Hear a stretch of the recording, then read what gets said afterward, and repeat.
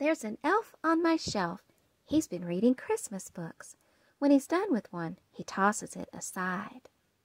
He's a naughty little elf, quite delighted with himself.